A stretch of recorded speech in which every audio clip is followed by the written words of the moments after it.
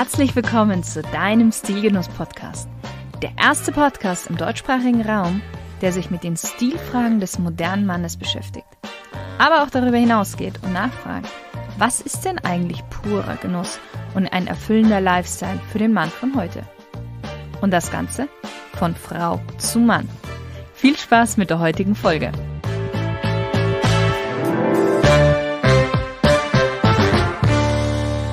Hallo liebe Stilgenusshörer und herzlich willkommen zu einem neuen Interview und einem neuen Interviewgast. Nach über 20 Jahren im Investmentbanking suchte sich Norbert Ambros eine neue kreative Herausforderung zum Bankalltag. Und er startete seinen eigenen Blog namens Bruce World. Seine Vision war es, eine Plattform für seinen Lifestyle zu schaffen und diesen auch in die Welt rauszutragen.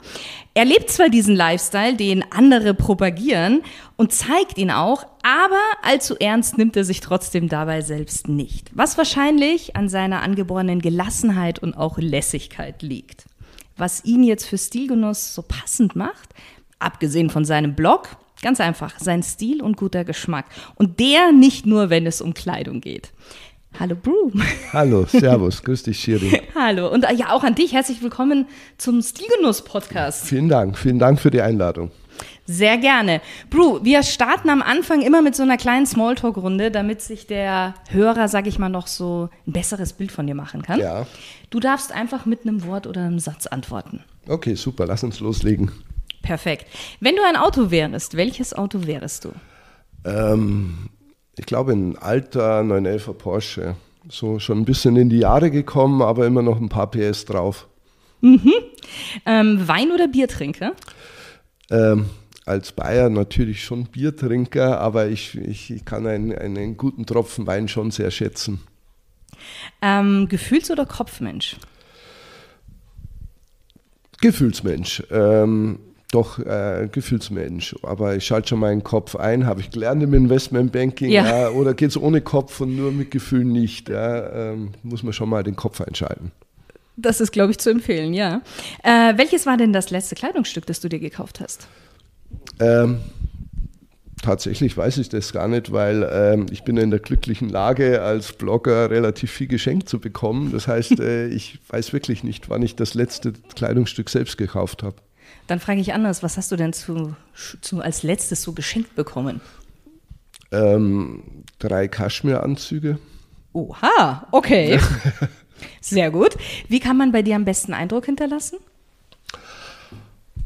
Mit Humor auf jeden Fall. Also ich, ich, schätze sehr, wenn Menschen humorvoll sind, wenn sie auch über sich selber lachen können ja. und äh, authentisch sind. Authentizität ist mir schon sehr wichtig. Mhm. Welchen Gegenstand hast du immer bei dir? Ähm, eine Armbanduhr. Die habe zwar mehrere Modelle, Gott sei Dank, aber ähm, die Armbanduhr ist eigentlich, ich habe sie immer dran, darum äh, auch immer Sportmodelle, weil man geht da ins Wasser und so. Okay, okay. Mm, wenn dein Leben ein Buch wäre, welchen Titel hätte dieses Buch? Ja, das ist eine super schwierige Frage. Ähm, es geht immer noch ein Stückchen weiter, glaube ich, wäre so ein Thema, ähm, das auch so mein Leben widerspiegelt und ähm, äh, hinter jeder Kurve steckt eine Überraschung, wäre auch eine gute. Das ist, ein, ist auch ein Titel. schöner Titel, ja. Wer ist denn für dich so die Stilikone schlechthin? Ja, also ich bin ein großer, großer Fan von Paul Newman. Und mhm. ähm, ich finde, ich mag seinen Kleidungsstil, weil er so lässig und maskulin lässig ist. Mhm. Und äh, ich, ich, mag natürlich auch seinen Geschmack bei Autos und Motorrädern. Die sind mhm. einfach ähm, mega und ähm, leider kann ich mir seine Autos nie leisten, aber ähm, toll, so ein Vorbild zu haben. Ja. Ähm, bevor wir jetzt so in den Hauptteil, sage ich mal, reinkommen und du auch noch mehr erzählen darfst, mich würde mal eine Sache interessieren. Wie bist du denn zu dem Spitznamen Bru gekommen? Ja, das ist, äh, glaube ich, eine längere Geschichte. Ehrlich gesagt weiß ich es nicht genau. Also äh, mein Bruder kam aus Amerika zurück und das war irgendwann in den 80ern, 90ern. Ähm, und kam da Hey Bro und äh, ähm, aus, aus dem Bro wurde Brew und äh, irgendwie blieb das dann. Ja. Und ja, seitdem habe ich den und das ist Manche Leute sagen Bruce, weil der, der Blog ja Bruce mit Apostrophe Ja, ist. ja. Jetzt denken alle, dass der das amerikanische Bruce Ja. ist nicht mein Name. äh, Bruce ist mein Spitzname und ähm, manche wissen es, manche nicht. Ich habe mir auch an Bruce gewöhnt. Okay, Brew, ähm, was würdest du sagen? Wie definierst du Stil? Ich finde, Stil hat man oder man hat ihn nicht. Es ist sehr schwer zu erlernen. Ähm, manchen ist es in die Wiege gelegt, manche haben es vielleicht über die Jahre vervollkommnet. Stil ist was, ähm, wo einfach alles passt, wo die, ähm, die Kleidung zum Typ, der Typ zum Leben, zum Lifestyle, den er führt, passt. Ähm, ist eine tolle Geschichte, aber äh, viele haben es ehrlich gesagt nicht. Das ist das Traurige daran. Und wie würdest du so deinen eigenen Stil in, sagen wir mal, drei Worten beschreiben? ja, ich bin so eher, weil ich ja auch ein bisschen in die Jahre gekommen bin, eher so der klassische Typ, aber ähm, immer noch sportlich, klassisch, ähm, vielleicht mit einem kleinen Augenzwinkern noch und äh, ich versuche halt einfach ich zu sein, authentisch zu sein und äh, das sollte meinen Stil ausmachen. Jetzt dein, dein Blog, Bruce World. Wie kam es dazu, dass du den für dich so gegründet hast, sage ich mal? Jetzt abgesehen von der vielleicht Langeweile würde ich es nicht sagen, aber eben, dass du einfach noch so ein bisschen was anderes, Frisches haben wolltest in deinem Leben. Ja, langweilig ist ja so ein Investmentjob dann doch nicht, ja, eher anstrengend. Ähm, es war so, meine Frau wollte eigentlich einen Blog machen und ähm, ich habe dann ein bisschen recherchiert und festgestellt, dass es da schon ganz schön viele gibt. Und so im Recherchieren hat man gedacht, Mensch, schau mal, äh, das ist ja interessant für die Frauen, was gibt es denn so auf der Männerseite? Ja. Und es gab quasi nichts. Ja. Und ähm, dann habe ich gesagt, okay, lass uns doch äh, vielleicht einen Männerblog machen. Und ähm, nachdem sie mich gezwungen hat, dazu zu schreiben, äh, haben wir es dann auch schlussendlich gemacht und sind eigentlich ganz froh, Ja. weil es meiner Ansicht nach immer noch eine Marktlücke ist, zudem es auch ähm, ganz, ganz wenige ähm, Männermagazine, deutschsprachige gibt. Also es ist wirklich sehr überschaubar im Gegensatz zu anderen Ländern. Und ich glaube, die Zukunft liegt sowieso im elektronischen Medium und daher sind wir ganz froh. Und es läuft auch ganz gut. Ähm, ja, Mhm. Wann habt ihr den gestartet? vor acht Jahren. Vor acht Jahren. Okay. Ja. Ja gut, ich meine, seitdem ist schon ein bisschen was Neues dazugekommen, aber es stimmt schon. In Ja, es ist äh, was Neues dazukommen. Die, die ähm, Kunden oder wie soll ich sagen, die Firmen haben auch äh, den, den, den Mehrwert, den Werbewert eines elektronischen Mediums erkannt. Ich meine, äh, man braucht ja nur die Preisexplosion auf Instagram anschauen, Ja. das ist ja alles irre. Ähm, und ich denke, so ein Webersinn äh, oder ein Bloggersinn, wie immer dass man das nennt, ähm, glaube ich, ist schon die Zukunft. Ähm, die Leute haben es noch nicht so drauf. Gerade so meine Zielgruppe ab 40 ist eher noch so der klassische Zeitschriftenleser. Aber ich denke, das wird mehr und mehr werden. Doch. Jetzt hast du was ganz Spannendes angesprochen. Du hast gesagt, deine Zielgruppe so ab 40. Du bist ja jetzt auch nicht mehr der Jüngste, wenn ich es jetzt mal so sagen darf. Ja, leider. Leider. Aber du siehst, äh, also ich habe ich hab ja dein Geburtsjahr gesehen und dachte mir, okay, so, so alt hätte ich dich jetzt gar nicht geschätzt tatsächlich. ja, das ist viel Pflege. Ist viel Pflege. Mit den tollen Produkten, die ich bekomme. Aber würdest du auch sagen, dass das es gerade ist, was äh, so für dich so dein Alleinstellungsmerkmal ist, wovon du dich auch bei von den anderen Blogs etwas abhebst, dass du eben nicht mehr so der junge Hüpfer bist? Ja, ähm, gut, es gibt ja nicht so viele Blogs auch. Ähm, Gerade so ein Männer-Lifestyle-Blog sollte umfassend sein. Und ähm, ich glaube, ich kann schon aus meiner äh, Lebenserfahrung da auch ähm, viel einschätzen, was jetzt okay ist oder nicht so okay ist. Und ähm, die jungen Blogger oder meistens sind es ja nur Instagrammer, die machen halt ein bisschen Bildchen und das war's. Ja. Ich, äh, ich gehöre zu einer Generation, die noch gerne liest oder zumindest ein paar Details wissen will über irgendwas, über ein Produkt. Und ich denke, da gibt es viele draußen. Und, äh, Dieser Mehrwertgehalt. Genau. Und ja. äh, ich denke, dass es schon eine Zukunft gibt für sowas, ja. für so ein Produkt. Ja. Was würdest du sagen, wie verändert sich denn so die Einstellung zu Statusobjekten, zu Lifestyle, wenn man älter wird? ähm, ja, man rennt sicher nicht mehr jedem äh, Trend hinterher. Das, das sicher, ähm, man legt mehr Wert auf Qualität. Aber ich glaube, dass das auch bei äh, Jungen mehr und mehr kommt, dass die halt einfach ähm, lieber weniger, dafür mehr Qualität äh, konsumieren wollen. Und das finde ich eigentlich super schön, weil es auch so einen Nachhalt, Nachhaltigkeitsaspekt hat. Und ich denke, das, ist, das wird auch in Zukunft so weitergehen.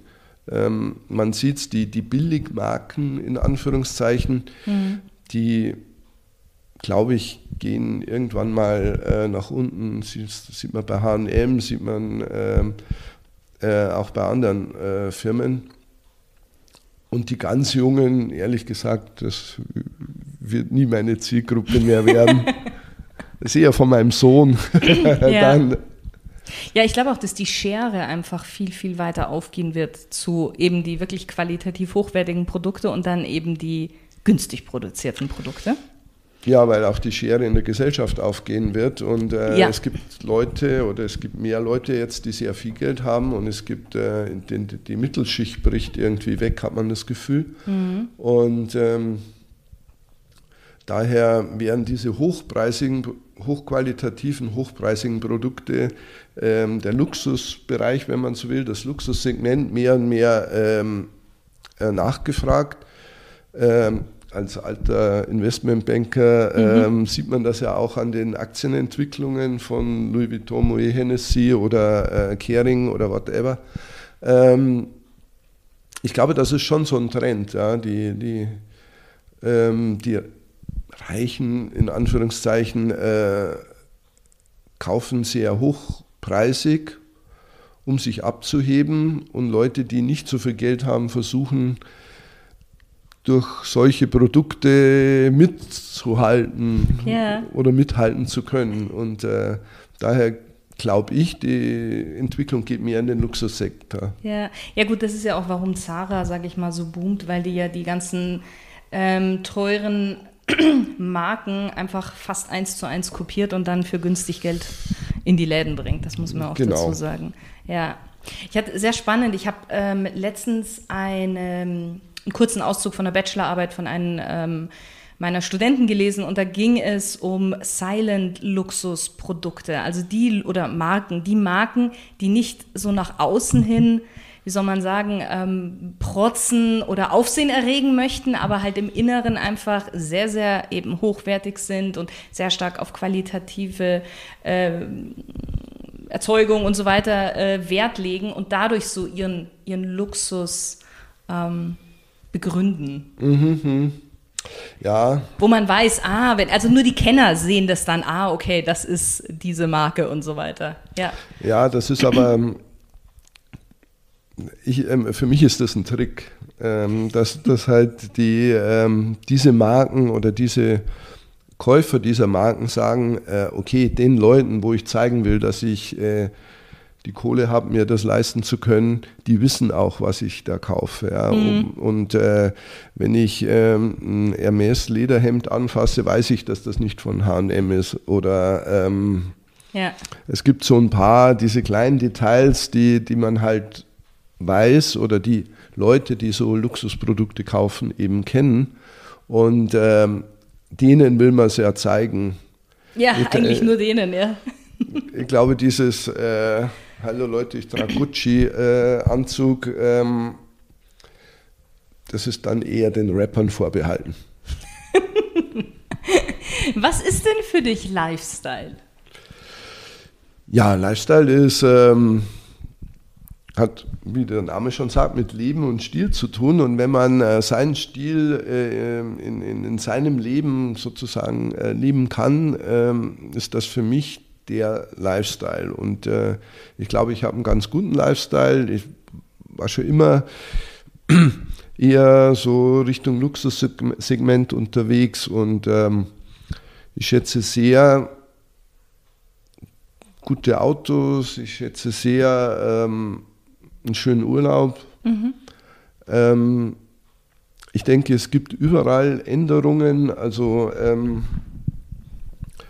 ich habe mich noch nicht so ganz angefreundet mit dieser E-Mobilität. Ähm, ist nicht so meins. Ähm, es wird kommen, beispielsweise im Automobilbereich, aber äh, habe ich noch nicht so ganz, äh, da halte ich lieber noch an den Verbrennern fest oder Oldtimern, wie du, ich einer bin. Du, du, du, fährst doch auch einen, einen Porsche, Ja, genau, gell? ja. Ich fahre so einen alten Porsche. Mhm.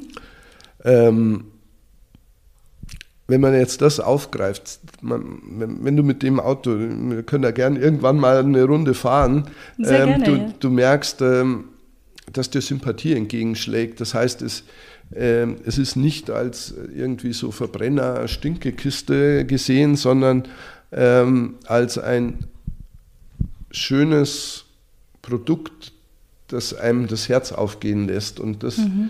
ist auch eine Art Lifestyle, mhm. sowas zu fahren. Ähm, weil wenn das alles wegkommt, dann sitzen wir alle in irgendwelchen gleichförmigen ähm, Schachteln mhm. die alle super ökologisch wertvoll sind, aber äh, super langweilig sind.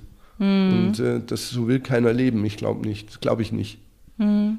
mhm. Ja, ja. Ich glaube, Individualität wird weiterhin groß und wichtig sein. Das glaube ich auch. Ich glaube, dass das sogar noch wichtiger werden wird, als es jetzt schon gerade ist.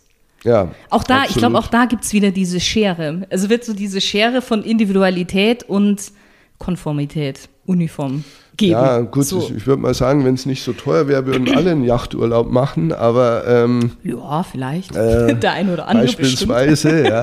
Aber ähm, da unterscheidet sich halt wiederum diese, oder da wirkt halt wieder diese gesellschaftliche Schere äh, sich aus und wenn man so auf Instagram schaut, sieht da alles easy leicht in bunten Farben aus. Mhm. Aber ich denke nicht, dass das ähm, ich denke nicht, dass das so die Zukunft sein wird. Ich glaube eher, es wird sehr stärker noch auseinandergehen. Hm, hm. Ja gut, muss man sowieso sagen, Instagram ist ja ein bisschen auch eine Fake-Welt. Ja, es ist eine Werbewelt. Ja, wie, Oder eine Werbewelt, ja. So, ähm, so. Wird halt anders verkauft. Ja, ja. Was ist dir denn bei deinem Blog besonders wichtig? Ähm, besonders wichtig ist mir, dass, dass es äh, authentisch ist. Es mhm. ist im Endeffekt jedes Produkt, was da so drauf ist, ähm, mit ganz, ganz wenigen Ausnahmen, ist im Endeffekt genau das, was ich mag. Und ähm, dadurch tue ich mich relativ leicht bei den mhm. Themen, mhm. weil ich schaue einfach so rum und denke mir, was, was mag ich denn so? Und äh, äh, das nehme ich dann und, und recherchiere oder, oder schreibe die Firmen an. Und ähm, im, im Optimalfall kann ich dann selber testen oder whatever. Ähm, aber ich will auch, eigentlich will ich meine Leser unterhalten, interessieren für irgendwas. Ähm, jetzt nicht äh, politisch oder, oder, oder, oder besserwisserisch, sondern einfach, äh, vielleicht unterhält sie das und lenkt sie ein bisschen ab vom Alltag. Mhm, mhm. Wie suchst du dir deine Themen so raus? Ich meine, du hast es ja schon ein bisschen verraten, du recherchierst und schaust, was zu dir ja, passt. Ja, ich werde, werde natürlich auch angeschrieben und ja. ähm, es gibt auch die eine oder andere Einladung ähm, und, und äh, aus dem Ganzen ergibt sich das eine oder andere Thema fast automatisch. Zum anderen ähm, ist ein, eines der wunderbaren Dinge eines Blogs, dass man unglaublich viele Leute kennenlernt für mich, äh, da ich ja. mir keine Namen merken kann, nicht so ganz einfach. Aber äh, ähm, man lernt aus den unterschiedlichsten, ähm, wie soll ich sagen, Berufen Leute kennen. Ja. Und das finde ich super interessant. Und ob das jetzt der Hotelier ist oder ähm, der äh, Yogalehrer oder, oder der ähm, Autodesigner, das ist schon ganz komplett andere Welten, die sich da auftun. Und das finde ich schon super interessant. Ja, man kann da überall mal so reingucken. Und, äh, genau, so, ja. ja und, das, äh, ist, das ist dasselbe hier mit dem Podcast. Da eben. Wie, wie jetzt bei dir? Ich meine, wir sitzen jetzt hier bei dir zu Hause. Ich bekomme gerade natürlich ein tolles ähm, Einblick auch so, okay, wie du lebst, wie du privat bist und so weiter, was man ja sonst vielleicht nicht unbedingt bekommt. Nee. Und ja, genau, also deswegen ähm, kann ich gut nachvollziehen, ja. Mhm. Ja, Nein, das ist, ähm, das ist wirklich toll und ähm, so ergeben sich auch die Themen oder der sagt, komm mal vorbei, schau dir mal das an oder meins an oder was auch immer. Ja. Jetzt heißt ja dein Magazin Bruce World und dann, bitte korrigiere mich, wenn ich jetzt falsch sage, ähm, Blog? Nein, wie war das? Ähm, for Modern Gens. Magazin for Modern Gens. Magazin for Modern Gens. Oder für Mode, ja. Genau. Was ist denn für dich ein moderner Gentleman? Ähm, ja, äh, gibt es den noch? Ähm, Oder verwandt es, es, gibt es ihn noch? Es gibt, also es leid, also was für mich äh, ein Gentleman ausmacht, ist äh, erstens gutes Benehmen und ähm, auch zum Teil die Etikette zu kennen. Mhm. Zumindest zum Teil. Mhm. Und ähm, ich sehe, dass das sehr stark abnimmt, gerade in der Jugend, was mich ein bisschen ähm, ja nicht ärgert, aber was ich schade finde, weil äh, gute Umgangsformen, es gibt so wenige, was, so weniges, was auch wenn man irgendwo im Ausland, im, im international unterwegs ist, was, was, was immer gut ankommt, sind Sprachen und Umgangsformen. Mhm. Und ähm, leider wird es in unserer Gesellschaft gerade nicht so gelebt. gelebt ja. Ja. Ähm, auch wenn man irgendwo in ein Restaurant geht, ja, es geht selten der Mann vor und hält die Tür auf oder hilft der Frau in den Mantel, das gibt es nicht mehr. Ähm, wird dann auf die Selbstständigkeit der Frau geschoben, was mhm. ich sehr albern finde, aber ähm, es, das ist schade und ich finde, das macht einen Gentleman aus. Gute Manieren, auch essen zu können, mit Messer und Gabel essen zu können, was auch. Und nicht so in sich hineinschaufeln. Ja, ja. genau. Was, äh, auch, weißt du, wenn du irgendwo in so einem Drei-Sterne-Laden bist und ich sehe, wie die Leute essen, wo ich mir denke, Mann, äh, die haben da Stunden verbracht, das so hinzukriegen und du haust das weg wie ein äh, Burger. Ja.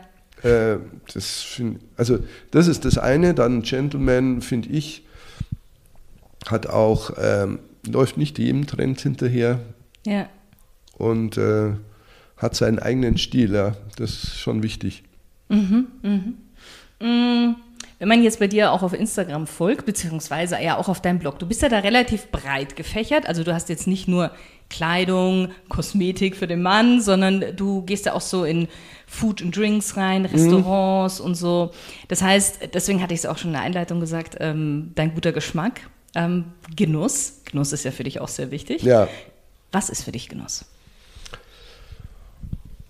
Naja, das kommt natürlich auf, also Genuss kann ja sehr vielfältig sein. Ja, das ist, ähm, wenn ich eine Skitour gehe und stehe am Gipfel und die Sonne geht unter oder auf oder ähm, beim, beim, wenn man mit dem Boot übers Meer fährt und das glitzert und, und spiegelt das Wasser äh, die Gischt saust, das, das, ist auch ein Genuss für mich. Wenn du jetzt, weil du äh, Kulinarik angesprochen hast, ähm, da ist für mich Genuss, wenn ich was esse, wo ich sage, yes, das, das, ist schwer zu beschreiben, weil das ist, ist so ein Moment, der, wo ich sage, ja, das ist, das habe ich ja noch nie gegessen oder ich habe es noch nie so gegessen oder mhm.